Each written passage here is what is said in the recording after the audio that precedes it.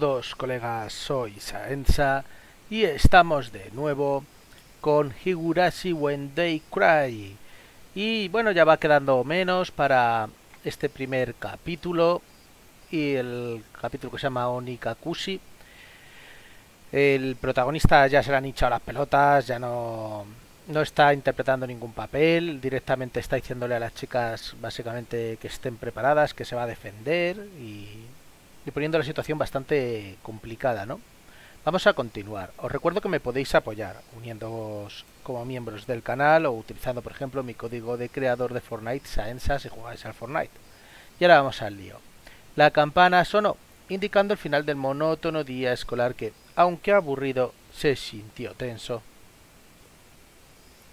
Ya que una invitación para unirme al club me causaría recuerdos desagradables, me preparé para volver a casa sin siquiera mirarles.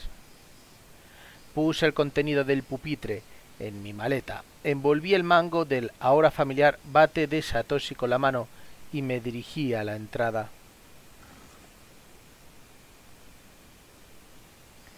Me asaltó un exhaustivo alivio al ver que nada había pasado el día de hoy, pero también un sentimiento de debilidad por la latente posibilidad de que mañana fuese igual.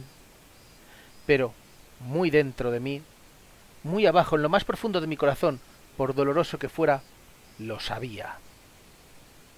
Este será el último día del ciclo. No tengo idea de cómo terminará. Y sea de la forma que quiero, de la forma que no quiero. En todo caso, en mi estado actual hay algo más importante que el cómo terminarán las cosas.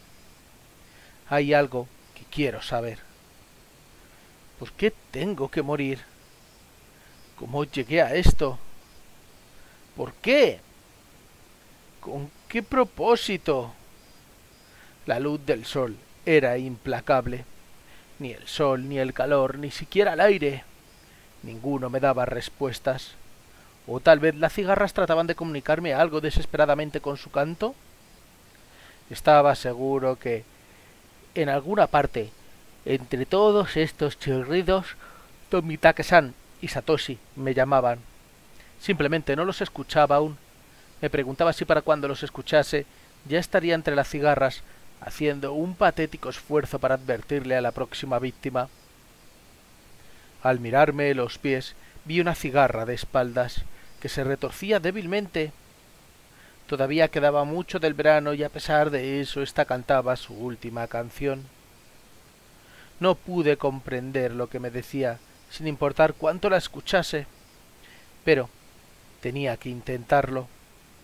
Intenté escuchar aquello que intentaba contarme tan desesperadamente.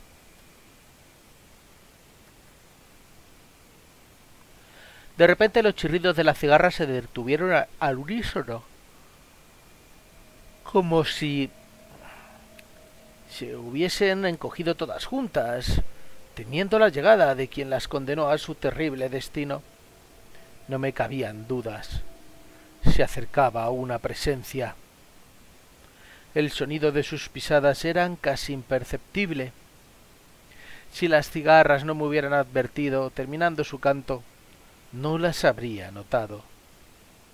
La fatiga dejó mi cuerpo inmediatamente. En su lugar apareció un subidón de adrenalina que agudizó mis sentidos. Apenas si podía controlar el sofocante y reptante sensación de horror. No era algo que pudiese controlar por mucho tiempo. Pero en ese momento en el que debía estar alerta, logré mantener la compostura. No iba a gritar como el día anterior. Me escondí calmadamente entre los árboles, esperando la sombra de mi perseguidor. Lograré hacer que pase de largo. No. Pude escuchar sus pisadas, probablemente también pudo escuchar las mías. Puede que ya se haya dado cuenta de que me estoy ocultando mientras contengo la respiración. ¿Esa persona será Rena igual que ayer? Si es Rena no me voy a contener. No puedo gritarle y hacer que se adelante como ayer. Y si no es Rena, depende de cómo actúe, supongo. Las pisadas se acercaban. Tragué saliva. Me sequé las manos sudorosas con el pantalón y ajusté mi agarre del bate. Sabía que el miedo que había logrado derrotar estaba acechando, esperando otra oportunidad para asaltarme. ¿Quién podrá ser? Me asomé desde detrás de un árbol para ver a la persona que me seguía. Mi imaginación no me falló. Era Rena. Y con esa cara de diabólica, ¿eh? Sentí un poco de calma al ver a alguien conocido, pero el sentimiento se fue al instante. Esa no era la rena que conocía. Sus ojos se veían sombríos o inertes, pero su boca parecía una media luna. Sí, parecía tener una pequeña sonrisa. Y en su mano derecha había una tachuela. Me escondí detrás del árbol nuevamente con la imagen que acaba de ver aún en mi cabeza. ¿Qué rayos fue eso? Es la viva imagen del terror encarnado. Béisbol, práctica de bateo. Tengo muchas excusas para cargar un bate. Pero una chuela? No existe para excusa para eso. Una hachuela. ¿Así como así? Keiichi-kun. ¿Será que estás jugando a las escondidas? ¿Será? Mi corazón latía fuertemente. Era tan fuerte que me daba problemas para respirar. La poca compostura que me quedaba fue aplastada. En su lugar un sudor frío empezó a chorrear, cubrió todo mi cuerpo, haciéndome entender cuál emoción tenía el control ahora. Qué mal, qué mal, qué mal. No pude esconderme por completo. Ya sabe que estoy aquí. ¿Será que intentas asustarme? ¿Será? Decidí que sería mejor revelar mi posición en ese momento, pues todavía había terreno entre nosotros y no quería permitir que Rena se acercase más. Hombre, pues viendo que viene con un hacha, yo sí que intentaría mantener las distancias, ¿eh? Reafirmé mi agarre del bate. Me preparé psicológicamente y surgí desde atrás del árbol.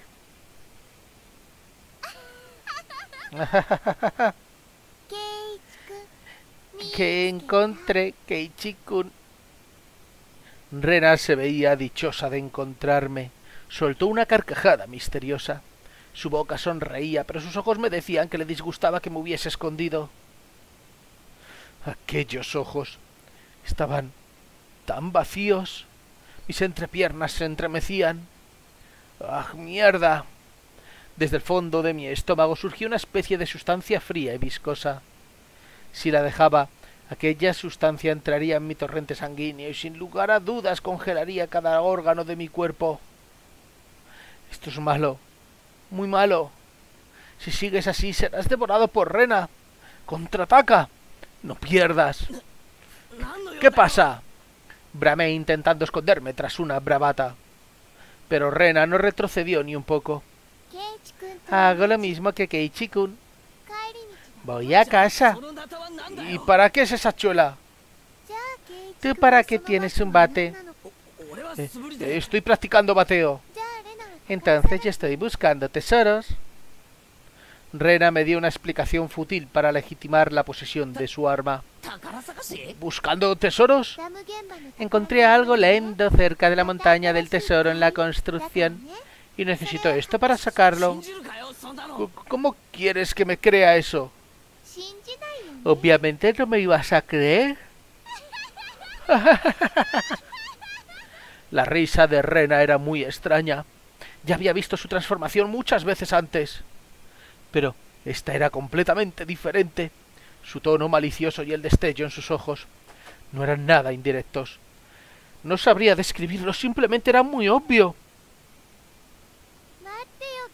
Espera, Keiichi-kun. Rena no dejó de caminar, ni siquiera cuando soltó esa reprimante carcajada. Siempre que Rena se me acercaba demasiado, corría y caminaba de espaldas para verla. Aquel ciclo se repitió una y otra vez. No había otra forma de verlo. Rena me perseguía y yo intentaba escapar. deja de perseguirme. No puedo hacer eso. ¿Mi casa queda por ahí? Ayer cuando me encontré con Rena en este camino, se acobardó y siguió mis órdenes mientras temblaba. Pero esta vez es distinto. Rena no se ve para nada atemorizada. De hecho, no solo soy, o sea, no soy yo el que está acobardando. Está bien si el camino a mi casa y a la de Rena es el mismo. Puedo cambiar de ruta. Eso debería funcionar, ¿no? Giré por una calle que no conocía. Pero Ren al verme me siguió allí mientras reía. ¿Por qué? ¿Por qué? ¿No ibas a ir a casa? Simplemente ve por la otra calle igual que siempre. ¿Por qué me sigues por este camino desconocido? Estos pensamientos resonaban en mi cabeza y eventualmente salieron por la boca. ¿Por qué este me está siguiendo? El tono de mi voz estaba teñido de pavor. ¿Por qué quiero hablar con Keiichi-kun? ¿Y Keiichi-kun también quiere hablar con Rena? ¿No es cierto? ¿No es cierto? No, no, no quiero hablar contigo acerca de nada. Estás mintiendo, ¿no? ¿Hay algo que quieres preguntarme cierto? No, no tengo nada que hablar contigo. ¿Qué me... otra mentira? No es mentira. Hostia. El grito de Rena reverberó fuertemente, mandando a volar a las aves que se hallaban en las cercanías. Me encogí de miedo. Todo lo que podía hacer era acelerar el paso. Hablemos, Keiichi-kun. Hablemos, hablemos. Porque estoy corriendo por un camino desconocido. ¿No hay algo que le preocupe a Kichikun? No, no, no. No me preocupa nada. Mentira. a pesar de que estoy corriendo, a pesar de que Rena está caminando, ¿por qué no me estoy alejando? Te entiendo, te entiendo. En verdad te entiendo. ¿Estás asustado? ¿Cierto, Keiichi-kun? No, no estoy asustado. No me asusta nada. ¡Mentira!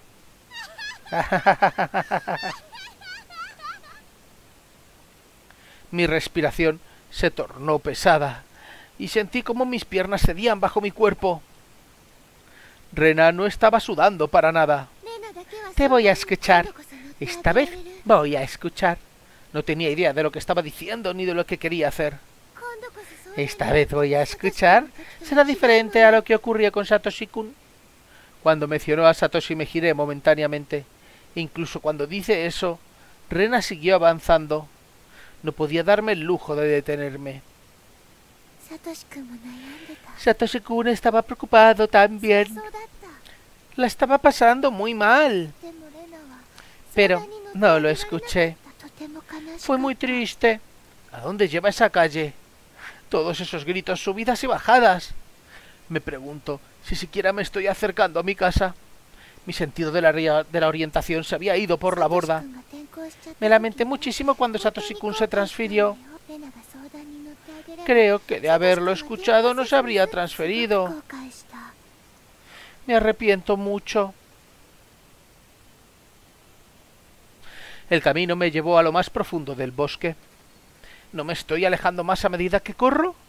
Entre, lo más, entre más lo pensaba, más perdía la compostura y a pesar de esa revelación, mi yo interior seguía desagradablemente calmado. Ya verás, hice un voto. Un voto para salvar a la gente que vea sufriendo como Satoshi-kun. No quiero que nadie más se vuelva a transferir. Mierda. ¿A qué se refiere con transferencia? No dejaré que me transfieras. No voy a terminar como Satoshi. Vamos, Keiichi-kun, háblame. Puedo comprenderte, Keiichi-kun. Soy tu aliada. Empecé a jadear. Me faltaba el aire. Mis pulmones estaban a punto de explotar. Mi corazón estaba latiendo lo más fuerte que podía. Debía haber practicado atletismo en vez de bateo. Ni siquiera pude rendirme en aquel ridículo pensamiento. Si Keiichi-kun no tiene nada de qué preocuparse, entonces volverá a la normalidad. Todos volveremos a ser amigos y podremos disfrutar de las actividades del club una vez más. La próxima vez nos haremos en equipo para derrotar a Meichi, a Mi-chan. sí, eso sería tan divertido. Rena no podía imaginarse lo mucho que deseaba poder volver en el tiempo hasta hace unos días. ¿Podrías volver a ser bueno conmigo también? Quiero volver a buscar tesoros. Esta vez voy a preparar un gran almuerzo. De hecho, podríamos ir ahora mismo. Vayamos juntos a la construcción. Te voy a mostrar la cosa linda que encontré. Estoy seguro de que te gustará. Tropezaba, mis piernas temblaban, mis pisadas hacían un sonido patético. Rena me pisaba los talontes, o sea, los talones. Sus pasos rompían las ramas bajo sus pies. Tenía que aceptarlo. Estoy huyendo y Rena me persigue.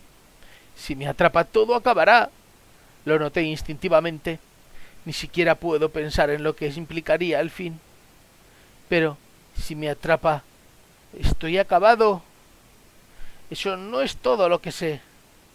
No me importa cómo vaya a terminar, no voy a dejar que termine. No sin saber nada, todavía no. Y ese momentáneo lapsus fue todo lo que se necesitó. De todas las cosas que pudieron haber ocurrido se me torcieron las rodillas y me desplomé hacia el suelo. Intenté levantarme frenéticamente urgiendo a mis piernas para que respondiesen. Utilicé el bate como un bastón para levantarme, pero Rena seguía frente a mí. ¿Encontraste camino? Que estaba sin aliento y totalmente... Eh, o sea, encontraste conmigo, que estaba sin aliento y totalmente exhausto. Rena estaba tan fría y calmada que pudo haber congelado el aire a su alrededor. Su respiración no estaba nada alterado. De hecho, ni siquiera pude percibir el latido de su corazón. ¿Tienes miedo de algo? Temblar no es propio de ti, Keiichi-kun. su cara casi parecía afectuosa. Esos ojos desalmados delataban su máscara de afecto. Mientras Rena me estaba por temblar, vino hábilmente sus manos y las puso tras su cabeza. La marcha borrosa de sus brazos me hizo sentir que estaba observando la divinidad del Buda de, mis de mil brazos. Cuando ambas manos se encontraron tras su cabeza, la hachuela apareció en mi campo visual. Me quedé mirando incrédulo. Tú, cuéntame lo que le ocurrió a Satoshi. Rena se quedó así con la hachuela sobre su cabeza y abrió su boca solemnemente, como si fuese a despedirse de un amigo que no volvería a ver. Sus acciones estaban plagadas de crueldad. Ya te dije. Satoshi-kun se transfirió. Eso es suficiente con lo de la transferencia. Significa Onikakushi, ¿cierto? ¿Cierto? Ahora puedes contarme, ¿no? ¿Quién hizo desaparecer a Satoshi?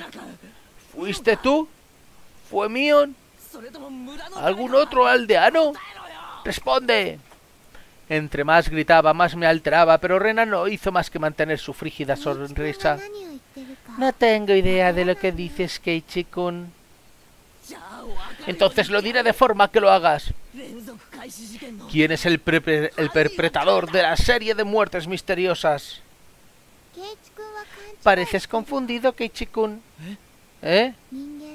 No hay perpetrador humano. Todo ha ocurrido por voluntad de, por voluntad de Oyashiro-sama. ¿Acaso la maldición de Oyashiro-sama no era superstición? ¿Tú también crees en eso? No se trata de creer o no. Oyashiro-sama existe. Punto. La mirada de Rena se tornó más gélida. La ferocidad de su mirada era tan intensa, no me permitía cuestionar nada. No es posible que exista una cosa como la maldición de Oyashiro-sama.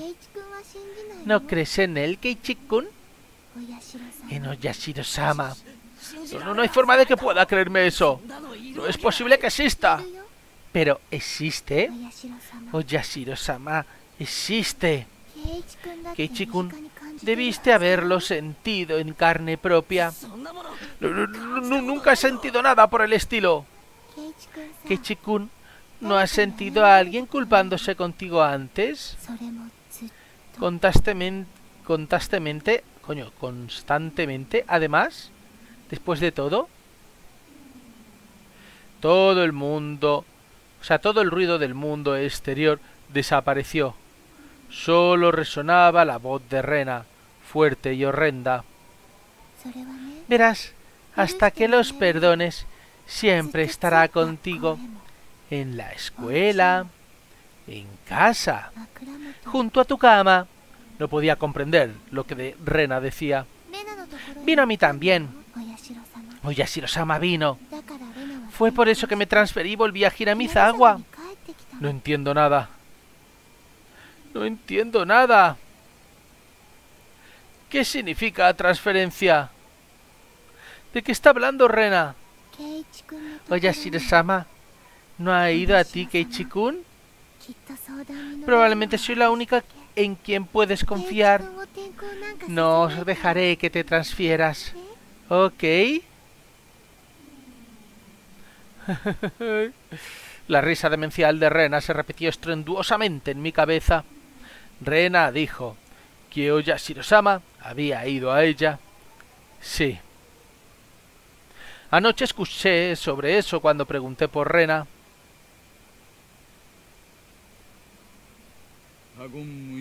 Por favor, mantén esta información confidencial. Además, una parte es especulación.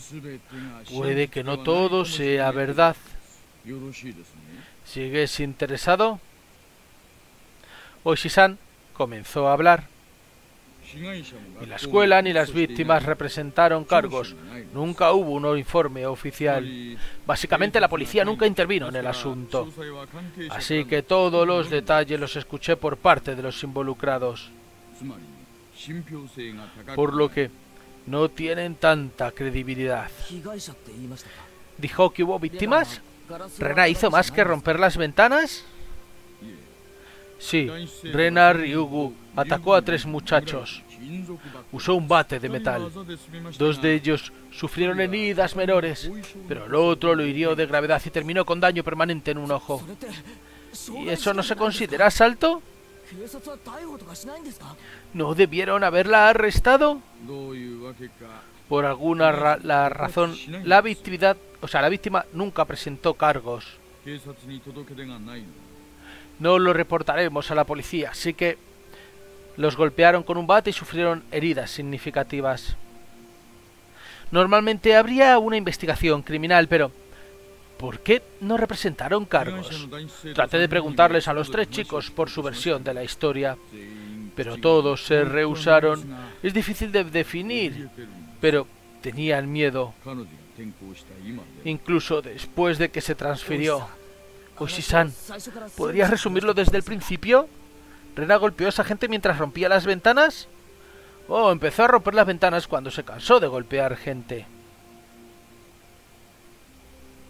Uy, espera, que me he pasado ese texto. Suenan parecido, pero significan cosas totalmente distintas. En una fecha indeterminada, Rena Ryugu se encontraba conversando con tres estudiantes varones, amigos cercanos, cerca del almacén de la piscina. ¿Quiénes eran esos tres? No puedo revelar sus nombres, pero eran cercanos a Rena Ryugu y parecía que eran su grupo de amigos. Era la única chica del grupo. Entonces no era inusual que los cuatro estuviesen juntos. ¿Y qué pasó? No conozco la razón tomó el bate del equipo de béisbol que se encontraba en el almacén y los golpeó uno tras otro. ¿Eh? No hubo testigos. Lo que dijo después fue una versión basada en la información disponible al momento de los hechos. Un día después de terminar las clases, Rena y tres estudiantes varones se encontraban en el almacén de la piscina. Estaban hablando. No era una reunión de emergencia, de hecho solían reunirse allí. Parece que la discusión se enardeció En ese momento Rena pasó por un cambio. Su cambio fue tan abrupto que ninguno logró comprender lo que pasaba. Entonces tomó un bate de metal y atacó a sus amigos uno por uno.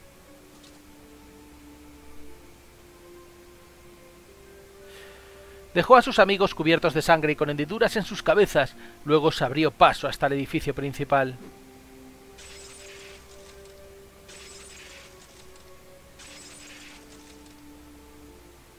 Entonces rompió las ventanas de cristal, una después de otra. Unos minutos después apareció un profesor en la escena y la sometió. ¿Cómo fue el cambio de Rena? Los tres testimonios coinciden en que fue un cambio repentino, a tal punto que podríamos llamarlo transformación. ¿Transformación? Ya sabía, o sea, yo también podía recordar la transformación de Rena. Había visto ese cambio múltiples veces antes.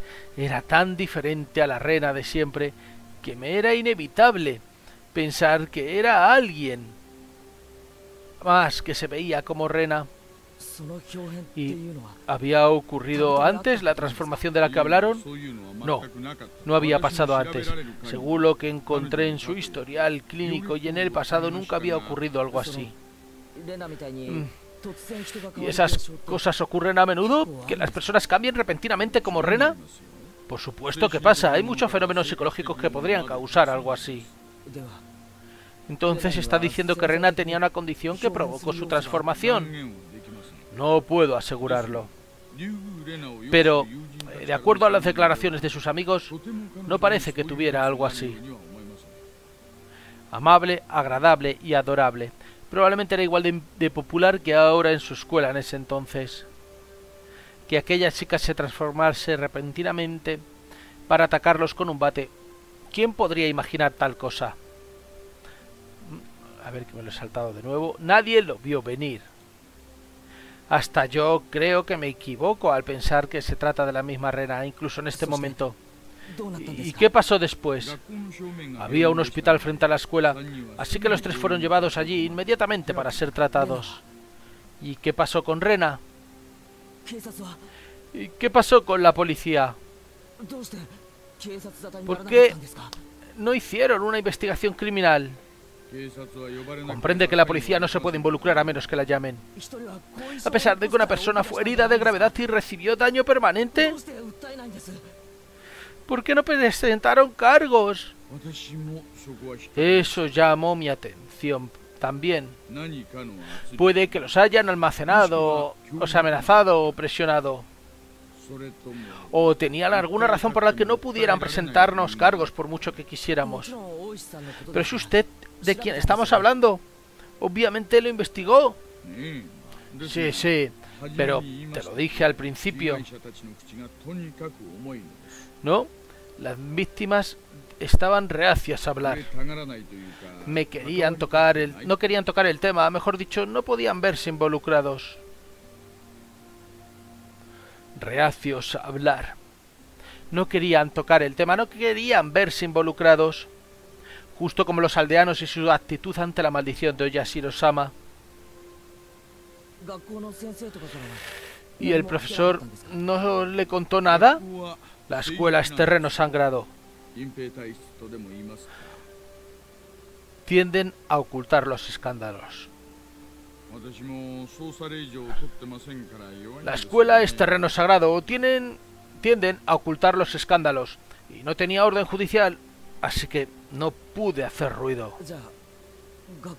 Entonces, ¿la escuela no hizo comentarios? No. Incluso negaron la existencia del incidente. Lo único, tienes estudiante, tienes, o sea, tres estudiantes varones con hematomas fueron atendidos ese día. Eso es todo lo que apareció en los registros del hospital.